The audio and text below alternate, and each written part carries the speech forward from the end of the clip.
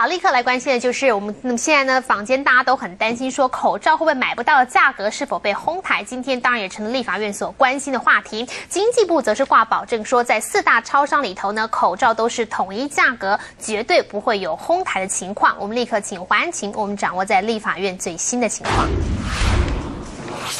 各位观众，早上大家关心目前立法院的最新状况。许多民众呢都说，现在口罩都买不到，一罩难求哦。不过呢，这样确定说，在政府的居中协调之下呢，明天起呢，将从四大超商这样的体系可以买到口罩。不过很多人很担心说，哎，这样口罩不像不只是买不到，还有人在哄抬价格哦。所以这个部分呢，今天经济部特别强调说，明天这个四大超商这个卖的口罩绝对会统一价格。我们听看稍早访问。第二个，大家关心是价格，因为这两天除了一兆难求以外，哈，最重要是价格每天都在上涨。那么明天供应的这个价格是统一价吗？不管你在。呃，四大超商任何一家买，它的价格是一样，那价格大概是多少？对，目前的话，这个价格会由我们我们疫情指挥中心统一决定一个价格，我们供应给其他几这这四大超商的体系都是一个价格。那么至于价格的决定，我们今天商业司会找四家供应商来做一点协调，协调之后的结果提报到疫情指挥中心，明天由疫情指挥中心统一来对外发布。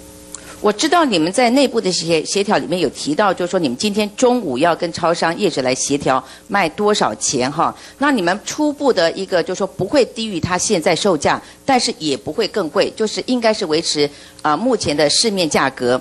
那么就是相关这个超商卖的口罩价格不会哄抬，而且会统一售价之外呢，大家也很担心，像加拿大已经传出来说人会传染给猪哦，这样相关的这样的感染哦。而目前呢，今天呢，叶金川特别强调说，目前不会来。禁止所有的猪肉进口，他也特别强调，在五月二十号之前呢，台湾这边也会引进相关的疫苗株呢，来进行相关的这个疫苗防治的研发。听看稍后访问。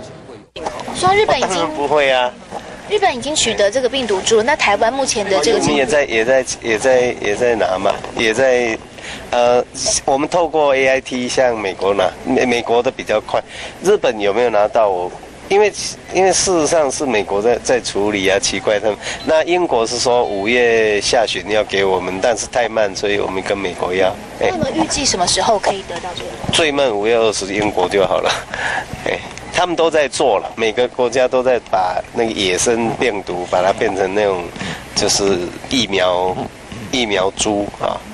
就是可以做疫苗的病毒，那每个国家都做，我们没有病毒啊。哎，好，谢谢啦，嗯，人家开会。会是疫苗株还是病毒株？疫苗株，嘿，疫苗株可以做疫苗的病毒，嘿。